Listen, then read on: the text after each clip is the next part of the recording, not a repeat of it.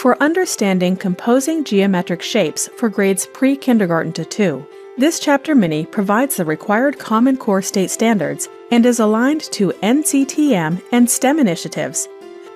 The Practice the Skill section includes six drill activities designed for the teacher to assess if the students have fully learned the concepts and curriculum expectations.